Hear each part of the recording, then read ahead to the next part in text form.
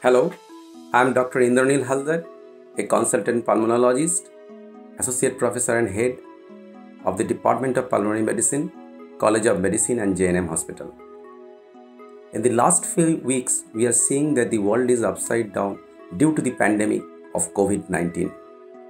Midst of this, we will be observing our World Asthma Day on 5th of May this year. So, this is something which I will be telling my asthma patients they have to keep their asthma in full control. To do this, even in the times of the COVID era, they have to take their inhaled medication regularly and properly. They should know how to take their inhaler with their device and to whether they are taking the inhaler in the right way, proper way, they can refer to different literatures and videos that are there in the websites. Secondly, there is a phobia about the steroid inhaler.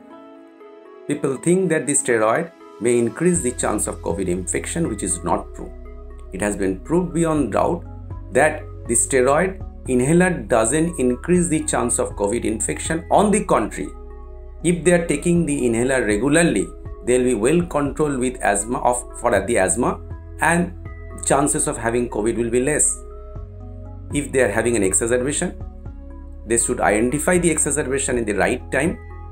And from the asthma written asthma action plan they should increase the dose of the inhaler the short acting beta 2 agonist or the reliever inhaler. Even they can start with their steroid medication the oral steroid medication. Even the oral steroid medication taken for the few days will control their asthma and not increase the chance of the covid infection the only thing that they should not do is to start nebulization and take nebulization randomly. Nebulization increase the aerosol spread and spread of COVID and it has already been proved beyond doubt that their pressurized metered dose inhaler with spacer is as good as their nebulization. So don't be panic. Keep your asthma under control.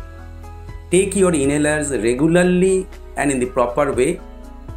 And if there is any increase in symptoms you can take our helpline. Ask us via telemedicine. We are available on telemedicine. Ask us what should be the right step that you can take. In fact our different hospitals are also and our private clinics are also uh, running. So you can take our help to take care of yourself and to take control of your asthma. So thank you